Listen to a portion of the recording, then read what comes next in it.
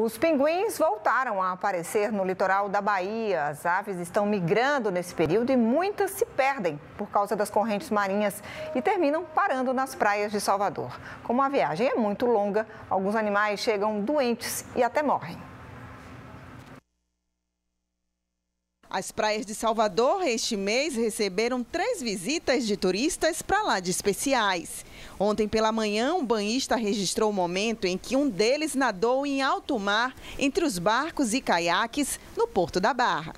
O meu amiguinho aqui, ó, tá aqui no Porto da Barra, que é do meu lado, ó. Seu Narciso é pescador há mais de 30 anos e diz que nos últimos 10 anos tem visto pinguins no Porto da Barra. Com os ventos do mês de agosto, as aves visitam o local com mais frequência. Geralmente, quando tem essa frente fria que vem pelo sul, eles vêm da Argentina, né? Segundo algumas pesquisas que eu já vi em outras reportagens anteriores.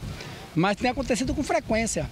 Já teve ano de aparecer 10, 12 pinguins aqui. Até golfinho já apareceu aqui nesse porto. Ontem à tarde, em Paripe, bairro do subúrbio ferroviário de Salvador, outro pinguim foi flagrado por pescadores. A ave chegou a ser contida, mas minutos depois voltou para a água e desapareceu. Já no início do mês, um outro animal foi encontrado também na Barra. A Guarda Municipal foi acionada e o resgatou para ser cuidado no Instituto Mamíferos Aquáticos. Porém, o pinguim não resistiu e morreu. Os pinguins vivem em terra firme e saem da Patagônia na Argentina em busca de alimento.